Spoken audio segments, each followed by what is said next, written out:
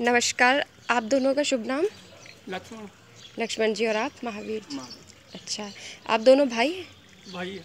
अच्छा ये आप बचपन से बजा रहे हैं क्या? हम्म। लोकवाद्य आपके पिताजी भी बजाते थे? का पिताजी बजाता पहले। अच्छा इसके अलावा आप क्या करते हैं? ढोल ढोल बजाते। अरे वाह आप जाति से क्या हैं? नट।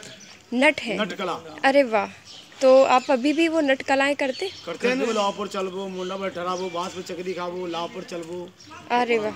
ये कहाँ मेलों मेलों में करते होंगे? हाँ मेड़ों में करते हैं। अच्छा।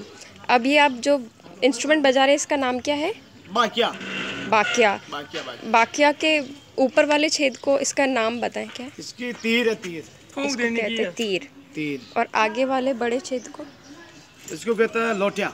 लोटिया। अच्छा। और ये? ये जब्बा है। जब्बा। जब्बा। अच्छा इसमें कहीं बीच में छेद नहीं होता? आ, नली है जो इसमें वो आ देते हैं ना जो पार हो जाती है इसमें। अच्छा तो आप जो गाना बजाते हैं तो इस जैसे बंसुरी में तो ऐसे उंगलियाँ करते हैं। इसमें कैसे निकालते हैं तो अलग अलग स्वर? से फूंक से ही जाते हैं। है। अच्छा। वो साजता ही नहीं है। अच्छा। अच्छा। आप एक बार बजा के बता सकते